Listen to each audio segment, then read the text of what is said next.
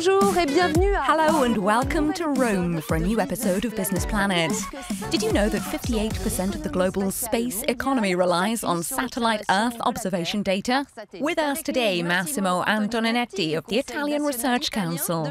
This data, Massimo, is available on an open basis in the EU thanks to the Copernicus program, which aims to boost growth un vrai moteur de croissance. Exactly.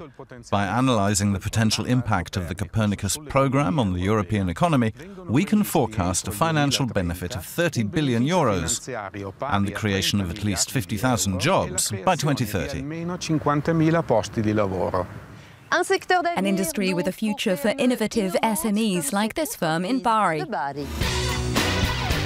This company specialises in geography for 21 years, it's been interpreting satellite data through applications that inform customers of the nature and evolution of soils, seas, urbanisation, or agricultural land.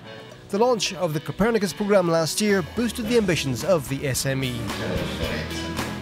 Copernicus is very important for us because it produces more environmental data to transform into more environmental information for our customers. The open and free access to Copernicus data is guaranteed until 2034, which allows Giovanni's company to have a long term growth strategy. The impact promises to be spectacular. Thanks to Copernicus, in the next 10 years, Planetek Italia will be 5 to 10 times bigger than now. Today we employ 50 people, and we will employ 250 to 500 tomorrow. Giovanni's SME is part of what's commonly called the downstream industries of space economy, which should harvest most of the economic benefit of the Copernicus program. Retour à Rome. Massimo, what is the Copernicus program essentially? C'est quoi? Copernicus is the European program for Earth observation from Sentinel satellites. Through this program, we can offer continuous, independent, and reliable access to information on the environment, land, and security. Citizens, researchers, entrepreneurs, or public authorities, this information is open to everyone. It can be useful to many business sectors such as the oil industry, insurance, and transport.